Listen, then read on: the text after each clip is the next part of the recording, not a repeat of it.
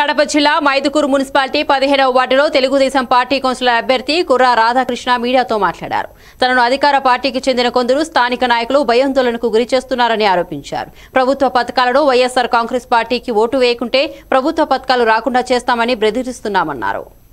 పదహైదవ ward Telugu Desam party అభ్యర్థి అయినటువంటి కౌన్సిలర్ అభ్యర్థి అయినటువంటి కుర్ర రాధవతో రాధాకృష్ణ. రాధాకృష్ణతో మాట్లాడే ప్రయత్నం చేద్దాం. చెప్పండి. అందరికీ నమస్కారం. పదహైదవ వార్డులో అధికార పార్టీకి సంబంధించిన వాళ్ళు ఏమన్నా పింఛన్ కానీ అమ్మఒడి కానీ ఏదైనా ఇబ్బంది పెట్టే కారణాలు ఏమైనా మీ దృష్టికి వచ్చాయా? ఈ క్యాన్వాస్ చేయడం వల్ల. మేము క్యాన్వాస్ మొదలుపెట్టినప్పటి నుంచి కూడా అంతకుముందు కూడా ప్రజల దగ్గర ప్రజల తిరగబడి పదేళ్ళ నుంచి మేము ప్రజలతో సత్సంబంధాలు కలిగి ఉన్నాము డీలర్గా. ఇప్పుడు రెండు సంవత్సరాల నుంచి మాకు డీలర్ షాప్ లేదు కాబట్టి కొంచెం ప్రజలతో ప్రతి ఇంటికి కలిసే అవకాశం నాకు లేదు.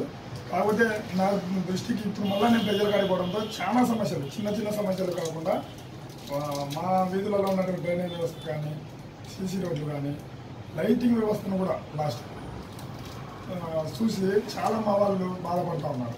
ఎందుకంటే ఈ ప్రభుత్వం వచ్చినప్పటి నుంచి ఈ వైసీపీ ప్రభుత్వం వచ్చి ఇప్పుడు ఇరవై నెలలైనప్పటి నుంచి మా వార్డులో ఉన్నటువంటి చిన్న సమస్యలను కూడా ఏ నాయకుడు కానీ ఏ కార్యకర్త కానీ వైసీపీ ప్రభుత్వానికి చేరువేసింది లేదు. చేరువేసినా కూడా ఈ ఎమ్మెల్యే గారు చేసే పరిస్థితి లేదు.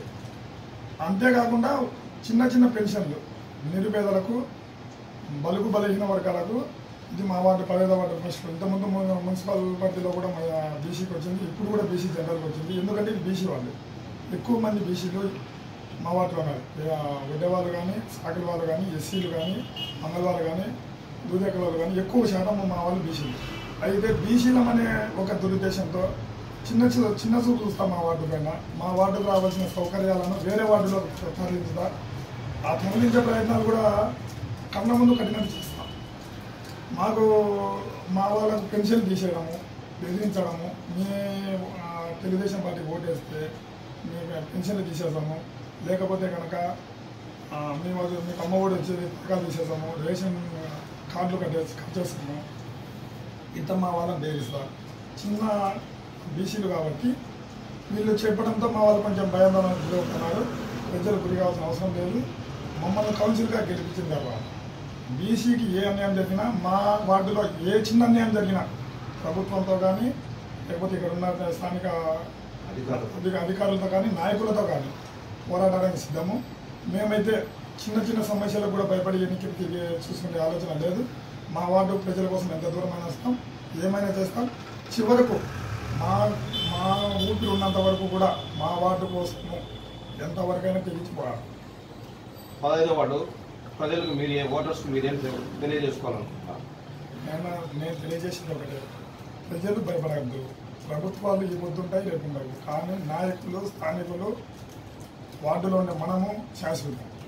అంతే తప్ప ప్రభుత్వాలు నాయకులు ఈ వార్డులో ఉండే ఈ వార్డుకు సంబంధించిన కాకుండా వేరే వార్డుకు సంబంధించిన వాళ్ళు లేకుంటే అధికారులు శాశ్వతం కాదు. అది గుర్తుంచుకోండి. ఎప్పటికైనా వార్డులో ఉండే స్థానికుని నమ్ముకోండి. నేనైతే మీ పిల్ల మీ మీ ఇంటి వాడిగా మీ ఇంట్లో పిల్లోనిగా మీ వద్ద ఉంటా. ఇప్పుడు ఇంతకుముందు పదేళ్ళు నా నా సర్వీస్ చూసినారు. నేను చేసిన సేవ చూసినారు గుర్తించినారు. ఇప్పుడు మరొకసారి అవకాశం ఇస్తారు ఇంకొక ఐదేళ్ళు మీ సేవ చేసుకునే భాగ్యం నాకు కలిగిస్తే కలిగించండి. నేను ఎంతవరకైనా మీతో మీకోసం ఇంత ఎంతమందితోనే ఎంత దూరమైన పోరాటానికి సిద్ధమవుతాను పదహైదవ వార్డుకు సంబంధించి ప్రజలు మీ దృష్టికి ఏమైనా ఏమైనా సమస్యలు తీసుకొని వచ్చారు? అధికార పార్టీ నుంచి ఏమైనా కానీ? అధికార పార్టీ నుంచి చాలా సమస్యలు ఒకటి కాదు చాలా చిన్న చిన్న సమస్యలు తీసుకొని వస్తా. మా వాళ్ళను భయ భయపడడానికి అడ్డుపెట్టడానికి చేసే ప్రయత్నాలు చిన్న చిన్నయే కాకుండా ఏదో వాళ్ళు మా వాళ్ళు పనులు పోయేవాళ్ళు కాబట్టి. ఈసీలు అంటే ఎక్కువ శాతం మా వాళ్ళు పనులు పోయేవాళ్ళు కాబట్టి వాళ్ళ మధ్య పెట్టి మిమ్మల్ని చాలా ఇబ్బంది పెడతాము. మీ మీద కేసు పెడతాము. మీ మీద ఓటు మా వాళ్ళు ఓడిపోతే కనుక మిమ్మల్ని మీకు బిల్డింగ్ రాలేము. ఇలాంటివన్నీ చెప్తా మా వాళ్ళ మధ్య పెడతాము